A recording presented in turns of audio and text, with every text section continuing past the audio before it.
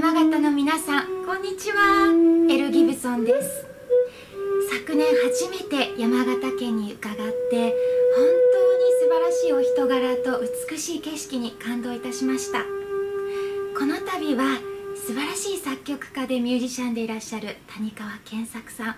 そしてこの聴くとリラクゼーション効果抜群のフランスの楽器オンド・マルトの奏者の原田隆さんと私でコンサートを開催することになりました。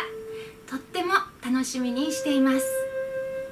はい皆さんこのオンドマルトのぜひ生で。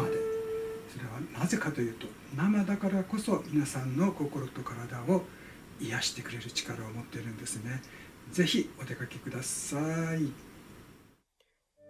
山形の皆さんこんにちは。谷川健作です、えー、この度、えー、オンドマルトの歌の原田隆さんと歌のエル・ギブソンさんと山形文章館議場ホールにてコンサートができること大変楽しみにしております。山形といえば、えー、高畑ワイナリーの小室仁さん主催の音楽イベント、そして東北文教大学短期大学部の母の眼差し、父の一言という歌を父谷川俊太郎と共に、えー、作曲できたこと、もうとても光栄に思っております。とても縁の深い詩です。大好きです。えー、本当にお世話になります。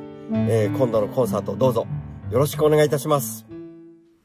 初めてお聞きになられる方も多いかとは思いますけれど、この温度マルトの皆さんの心と体をリラックス、癒してまいりますので、ぜひお楽しみに。